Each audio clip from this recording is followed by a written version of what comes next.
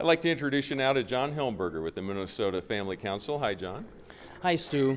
Tell me a little bit about your organization. Where are you based? How many people work with you? That kind of thing. Well, Minnesota Family Council is based in Minneapolis. We've got a staff of uh, seven people, uh, plus a, uh, a nearly full time volunteer who is a really uh, key person on our team, and an army of about 100,000 people around the state who are like minded and, and uh, work with us on a volunteer basis to uh, help us advance the biblical principles in the public arena that we're concerned about. And the organization's been there for 25 years now. That's right. We are excited to be celebrating our 25th anniversary this year. 25 years of advancing biblical principles in the public arena. Tell me about the top issues that you hit year after year. What are the ones that keep coming back? Well, there are probably four issues that we've seen cropping up in our legislature in the last couple of years. Uh, the last few years, actually, uh, year after year. And so far, the Lord's uh, enabled us to, to uh, stave off the attack on the family in the, on these issues. But the, uh, the fact that we're seeing these issues again and again has told us something. And they include uh, legalization of uh, domestic, same sex domestic partner benefits for public employees.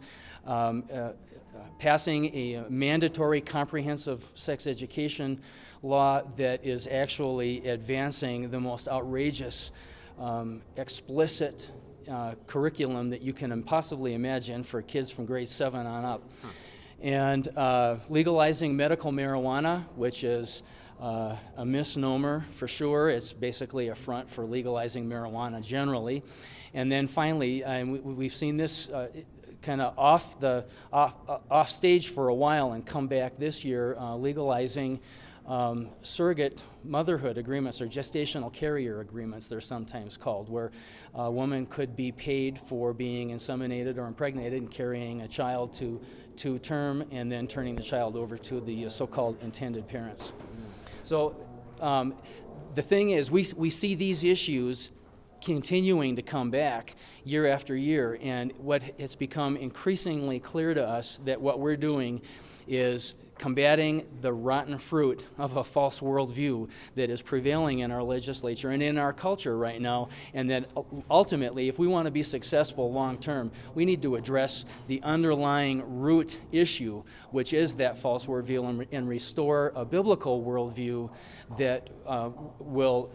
Uh, reestablish the, the strength of our, our culture and, and a basis for laws that will really uh, uphold the family and, uh, and protect the family and restore the strength of the family as the foundation of our society. Yeah, I know Minnesota has a reputation as leaning to the liberal side on many of these issues. What keeps you motivated? What keeps you in the fight?